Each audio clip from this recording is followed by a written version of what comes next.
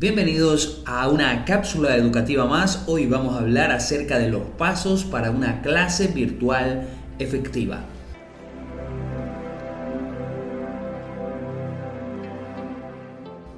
El entorno educativo actual en el que estamos inmersos todos los docentes requiere de ciertas habilidades y requisitos necesarios para el cumplimiento de los objetivos de aprendizaje trazados. En definitiva, hay muchos aspectos que debemos considerar para establecer una clase virtual efectiva. Así, antes, durante y después de nuestra clase deberíamos tomar en cuenta todo aquello. Por esta razón, en este artículo, en este podcast, hemos elaborado un listado de cada uno de los pasos a considerar. Número 1. Etapa de planificación. Antes de la clase es imprescindible planificar. Es una etapa que no podemos saltar y su relevancia radica en el simple hecho de estar preparado.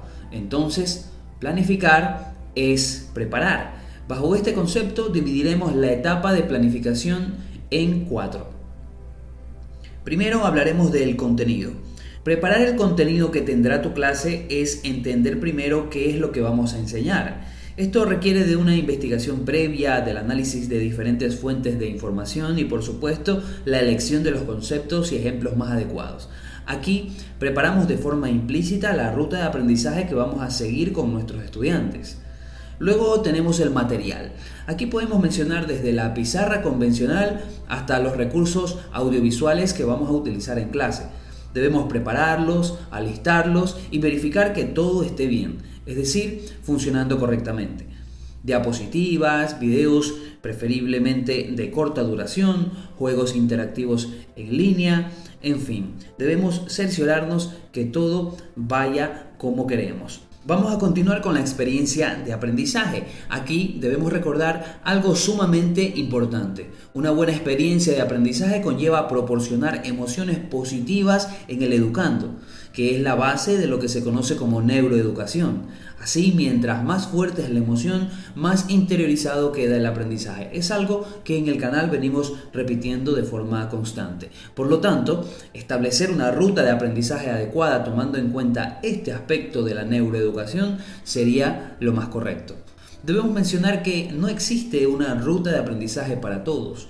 Construirla dependerá de nuestra propia creatividad y de los recursos que tengamos disponibles. En lo que podemos ayudarte es en brindarte quizá una pauta. Culminamos esta primera etapa con un entorno adecuado. Si aún no lo tienes, ahora es el momento. No es ideal brindar tus clases en la mesa del comedor o en medio de la sala mientras entran y salen personas de tu casa. Busca algún espacio con el menor ruido posible, tratemos de eliminar todas las distracciones que podamos y por supuesto vamos a adecuar ese lugar con todo lo que necesitamos para trabajar.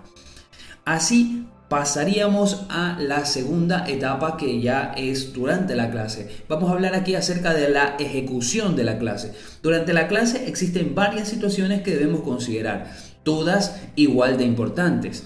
Empezamos con captar y mantener la atención de los educandos. Este aspecto se vuelve primordial durante la clase. Para esto, los recursos utilizados deben ir acorde con todo. Diapositivas llamativas con texto, con poco texto preferiblemente, videos cortos y animados como hemos mencionado, y una actitud fresca y positiva frente a la cámara facilitarán este trabajo. Continuamos con el uso de dinámicas. Empezar con dinámicas tu clase será bastante beneficioso ya que te permitirá despertar el interés de los chicos, socavar la pereza, establecer un ambiente de aprendizaje ameno y animar el inicio de la clase. Luego tenemos este aspecto de el dominio del tema. Demostrar dominio del tema es muy muy importante. Los estudiantes, aunque no parezca, se percatan de todo. Sabrán si su profesor conoce o no lo que está enseñando y ninguno de nosotros quiere ser sorprendido cometiendo este error, que a decir verdad lo he visto con bastante frecuencia.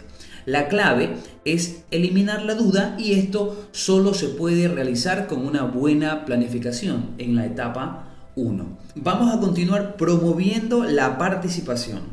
Si en la clase el docente es el único que habla, no es una clase, termina siendo un monólogo.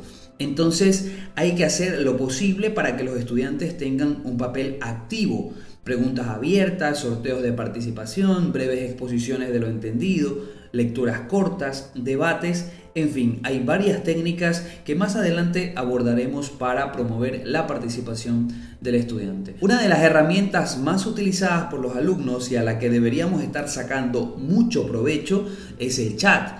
A través de este los estudiantes pueden responder preguntas de forma rápida y eficaz, especialmente para los que les cuesta un poco hablar. Escribir en el chat sería una excelente opción para promover la participación. Seguimos con eliminar las dudas. Por último, vamos a cerciorarnos que todos hayan entendido. Establece un espacio de tiempo para resolver cualquier duda que haya quedado acerca de la clase y si no hay dudas por parte de los estudiantes, nunca está de más repetir el concepto más relevante. Así pasaríamos a la tercera y última etapa de estos pasos para una clase virtual efectiva y esta etapa se llama la etapa de retroalimentación. Una vez culminada la clase, nuestro trabajo no termina ahí. Siempre será importante el seguimiento o el acompañamiento constante de nuestros estudiantes a través de cualquier aplicación de mensajería. A esto se le conoce como aprendizaje asincrónico. Dentro de esta etapa tenemos dos principales aspectos que vamos a mencionar. El primero es entrega de material usado. Si durante la clase usaste algún video, tal vez tus diapositivas, siempre será útil para los educandos poder acceder a ellas en cualquier momento.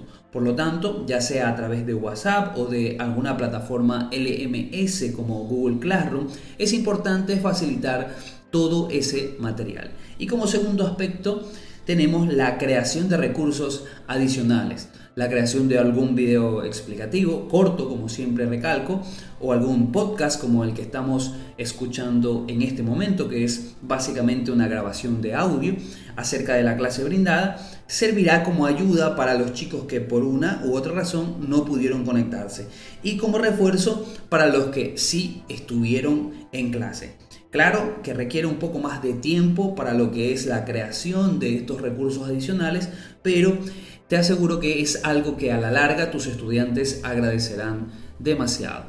Como bono, para terminar esta cápsula educativa, tenemos que todo lo que enseñamos debe estar orientado para ser llevado a la práctica en la vida cotidiana del estudiante. Recuerda que este precepto es la base para lo que es el aprendizaje basado en proyectos.